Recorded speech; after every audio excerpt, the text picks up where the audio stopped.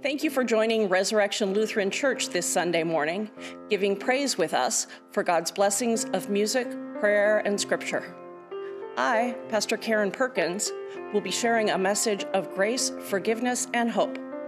All of the worship leaders welcome you. Blessed be the Holy Trinity, one God, the God of manna, the God of miracles, the God of mercy. Amen. The grace of our Lord Jesus Christ, the love of God, and the communion of the Holy Spirit be with you all. And also with you. The Lord be with you. And also with you. Let us pray. All powerful God, in Jesus Christ you turn death into life and defeat into victory. Increase your faith and trust in him, that we may triumph over all evil in the strength of the same Jesus Christ, our Savior and Lord. Amen. What time is it? Oh, you're eating. Time for children's message. Okay, while you were trying to do your bulletin, I asked you to listen because we're going to talk about something from the psalm today.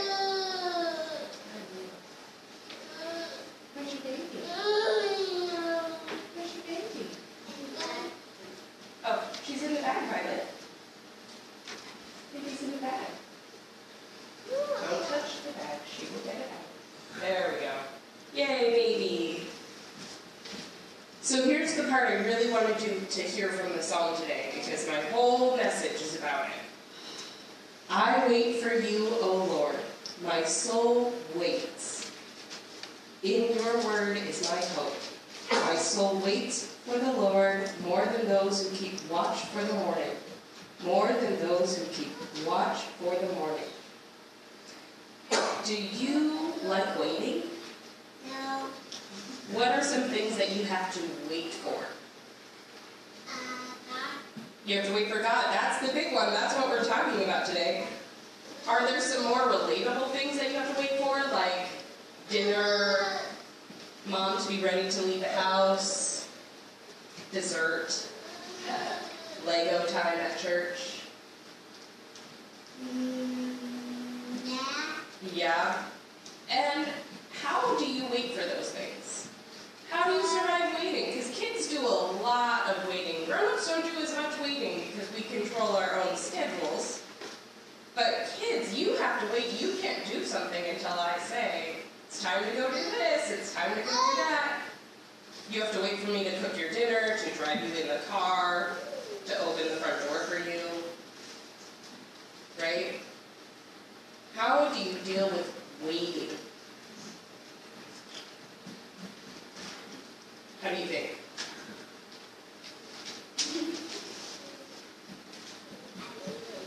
You're eating. That is one way that people deal with waiting. Sometimes you play in your room. Yep. Sometimes you pace by the door. Yeah. Sometimes you go, Mom, Mom, Mom, is dinner done? Is dinner done? Right? Today we're talking about waiting for God. Waiting for Jesus to come back again. How do you think we can wait? You don't know? Think we could wait with some praying? No. Yes. Oh, yes. That was a yes. Um, uh-huh. Um, mm-mm. We could wait with praying. We could. How else could we wait? Punch our food in your mouth. Crunching food in our mouth. We could eat. We do eat together. Where do we eat together every week? Uh, table. Yeah, at the table behind us. We'll eat communion together.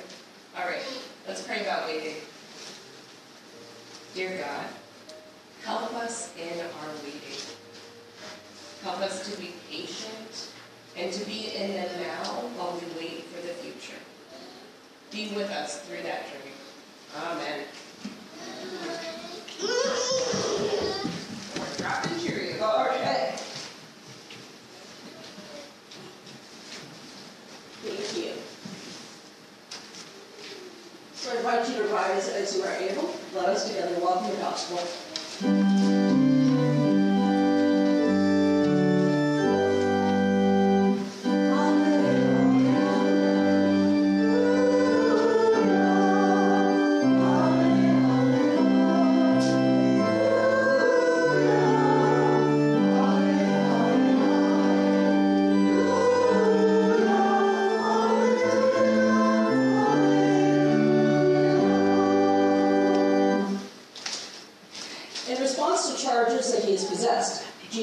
Jesus wonders aloud how anyone who is demon possessed can cast out demons. Those who do the will of God are possessed by the Holy Spirit, siblings of Christ. The Holy Gospel according to St. Mark, the third chapter. Glory to you, O Lord. Jesus went home, and the crowd came together again so that Jesus and the disciples could not even eat. When his family heard it, they went out to restrain him, for people were saying, He has gone out of his mind. And the scribes who came down from Jerusalem said, He has Beelzebul, and by the ruler of the demons he casts out demons. And he called them to him, and spoke to them in parables. How can Satan cast out Satan? If a kingdom is divided against itself, that kingdom cannot stand. And if a house is divided against itself, that house will not be able to stand. And if Satan has risen up against himself and is divided, he cannot stand, but his end has come. But no one can enter a strong man's house and plunder his property without first tying up the strong man. Then indeed the house can be plundered. Truly I tell you, people will be forgiven for their sins and whatever blasphemies they utter. Whoever blasphemes against the Holy Spirit can never have forgiveness, but is guilty of an eternal sin. For they had said, He has an unclean spirit. Then his mother and his brothers came, and standing outside, they sent to him and called him. A crowd was sitting around him, and they said to him, Your mother and your brothers and sisters are outside asking for you. And he replied, Who are my mother and my brothers? And looking at those who sat around him, he said, Here are my mother and my brothers. Whoever does the will of God is my brother and sister and mother. The Gospel of the Lord. Praise to you, O Christ. You may be seated.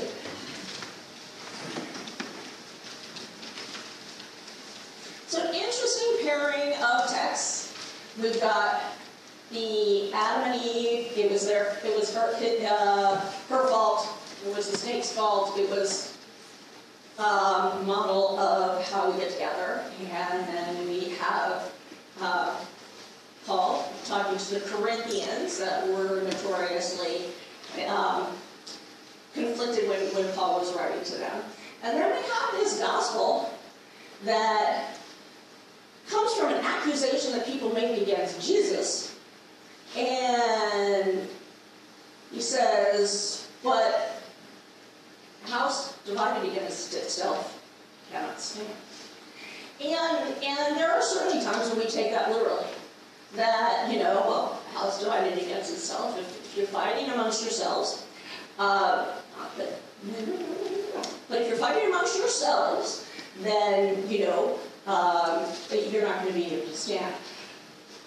And then he talks about who is my mother and brother. So it's just this interesting shift that he makes from this house divided against itself to who are my people? Who are my family? Who do I owe what? To who? To whom do I owe what loyalty? That's right. To whom do I owe what loyalty? And this house divided against itself is very specifically about the accusation of this demon possession and Jesus' response to it. And, and this bit about, you know, if, if, if a thief is going to plunder a man's house, first he must hire that man.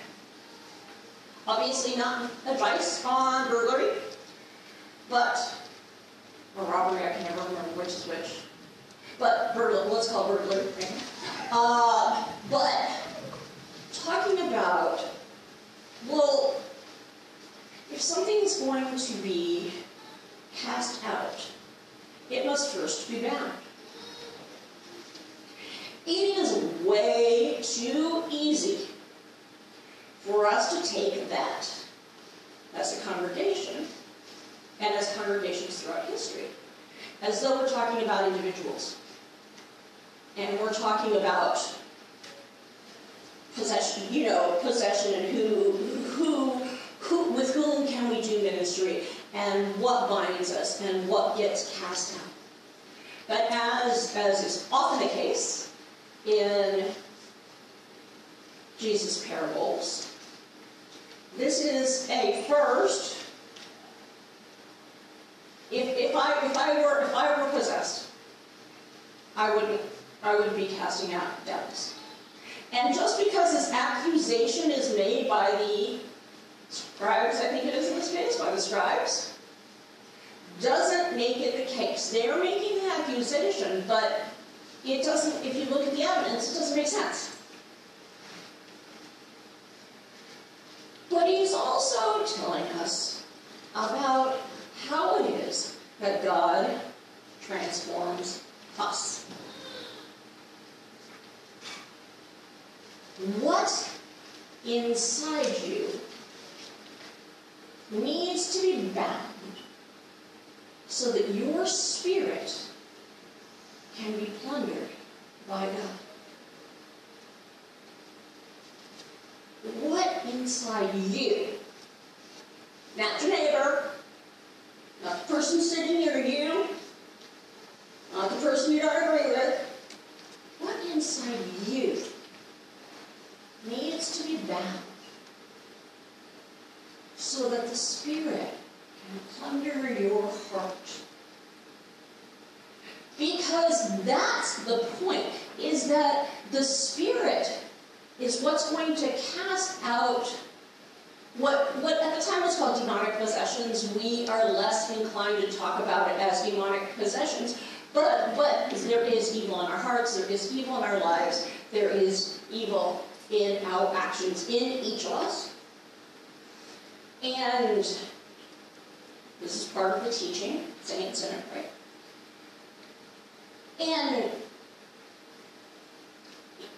Jesus' existence is to cast that out so that we may be filled by the Spirit. So our lives then may be bound by the Spirit, taken over by the Holy Spirit, transformed by the life, death, and resurrection of Jesus. So I'm just going to ask you to, I'm going to keep coming back to that. What needs to be plundered? And then we go to this family bit. His family, notice at the beginning of the story, his family told him, Shh, cut it out. You are getting in trouble. People are talking about you. They're saying bad stuff about you. Cut it out. It's not the first or the last time that Jesus gets told this. And people are, in fact, talking about it. Saying these things about him. And he does, in fact, get in trouble.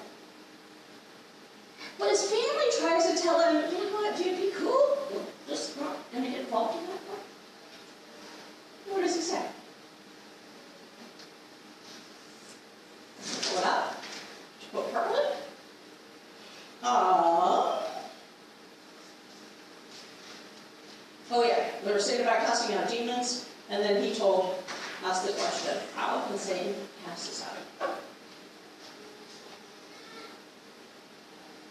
So, at the end then, when people say, your family's calling for you, your mother and your brothers, they're calling, you know, they're, they're, they're calling for you to come in. He's, he's, he's looking at the people with whom he's doing ministry. Not the people with whom he has blood ties. Not the people, he doesn't suggest that they're perfect. But the people with whom he's doing ministry and says, these, these are my people. It's not based on skin color, it's not based on orientation, it's not based on age, it's not based on denominationalism, it's not based on national origin, it's not based on, you know, paganism. These are my people. These people who do the will of God.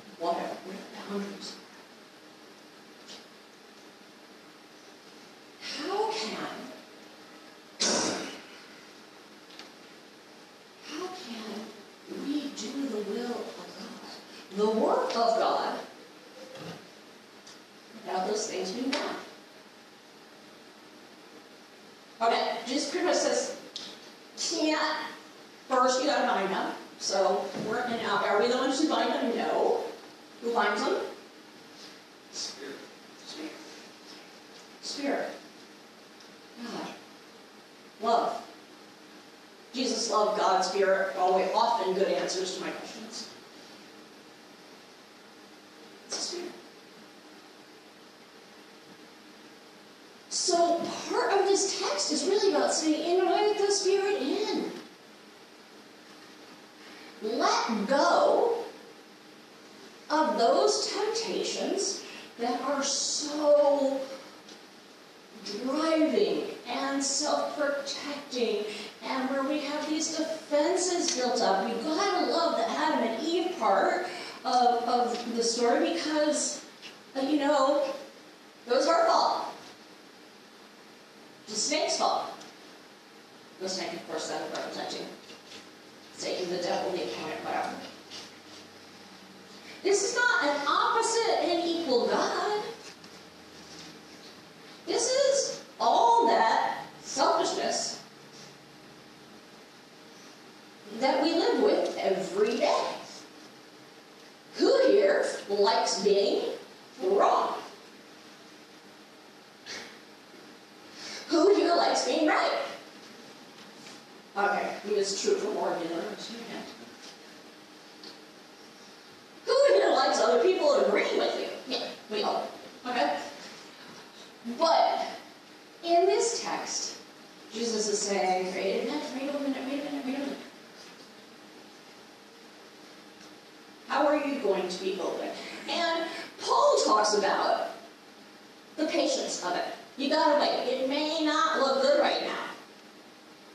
It may not look the way you want it to look. It may not look the way you expect it to look. It may not be coming out the way you had planned. In fact, I can guarantee you nothing in God's world is going to go as I planned.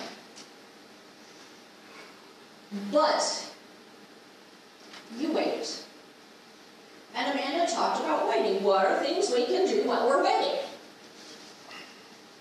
And they covered some of this. Anyone? Those of you?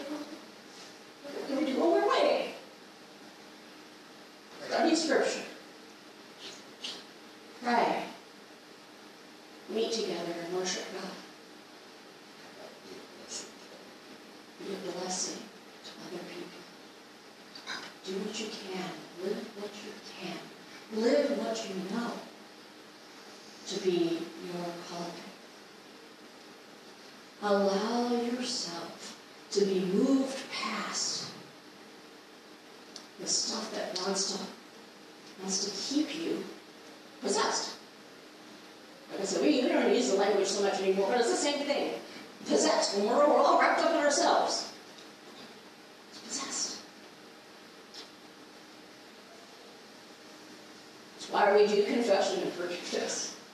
It's why when you come to the altar, I say, remember, you're reaching out to receive the Spirit, to be transformed by it.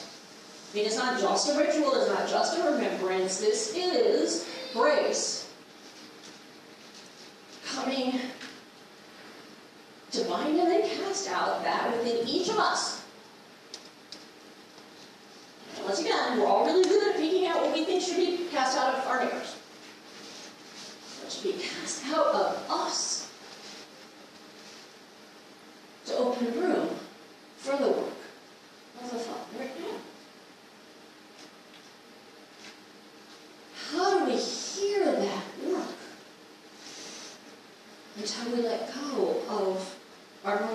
is repeating over and over and over again what we want to happen, or what we want, or what we, what we are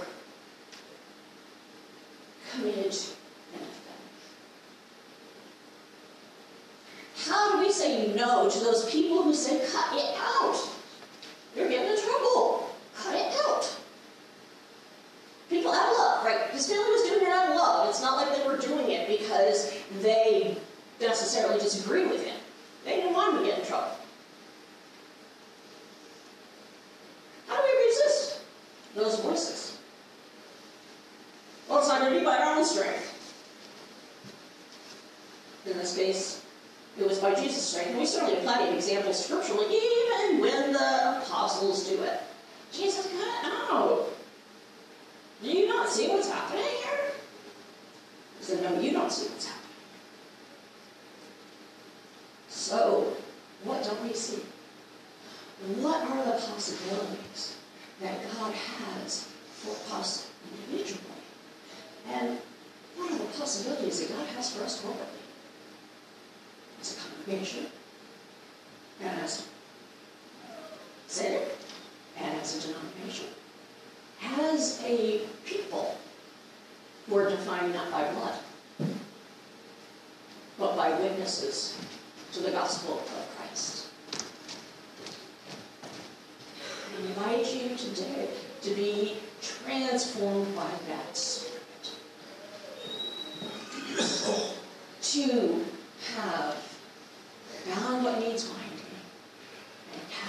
Any?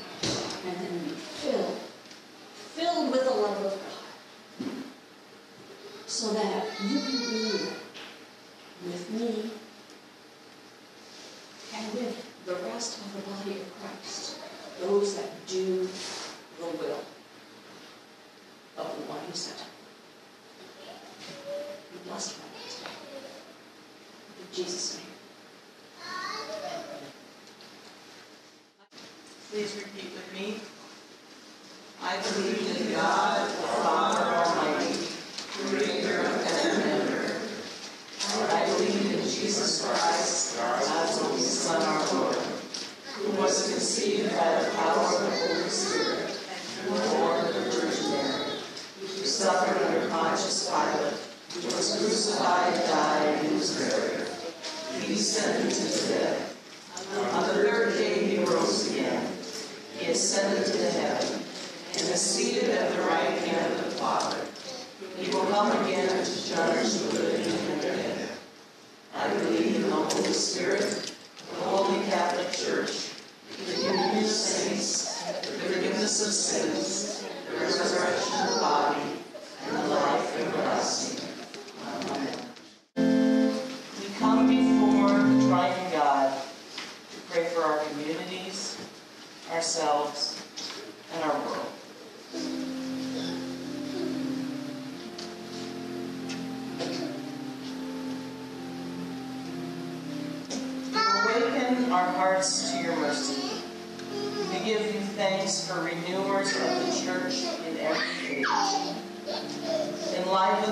creativity, and persistence of all seeking to transform the church into a closer vision.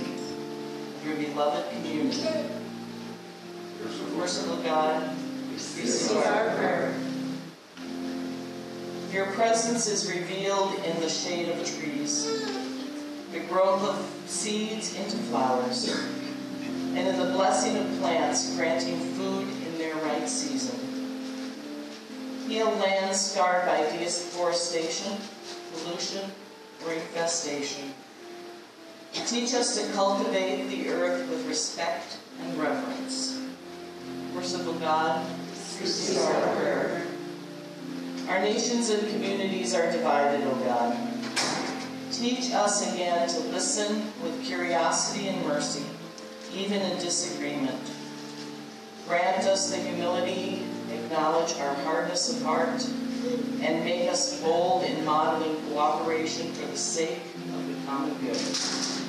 Merciful God, receive our prayer. Hear the prayers of all who cry out to you from the depths of fear, despair, or hopelessness. With haste, rescue victims of trafficking, exploitation, and abuse. Bless organizations and individuals who work on their behalf. Merciful God.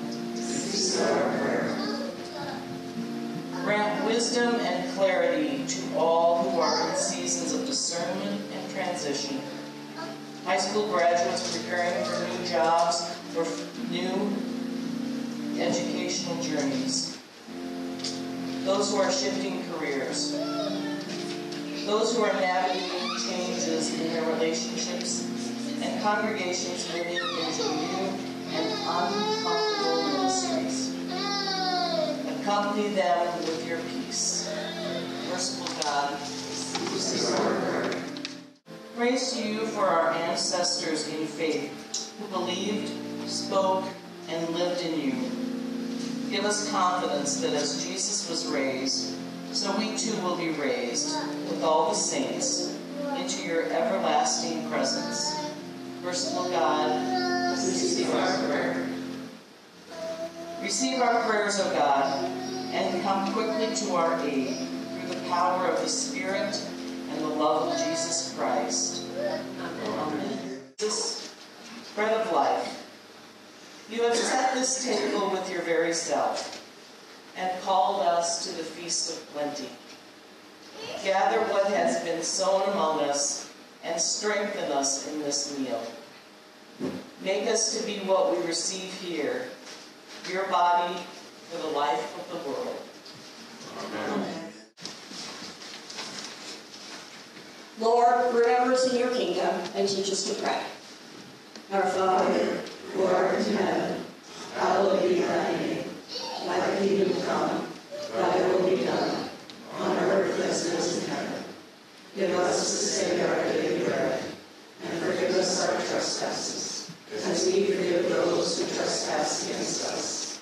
And lead us not into temptation, but deliver us from evil. For thine is the kingdom, and the power, and the glory, forever and ever. Amen. Please recite. The mission of Resurrection Lutheran Church is to promote spiritual growth in Christ and service to all people. The blessing of God, who provides for us, feeds us, and journeys with us, be upon you now and forever. Amen.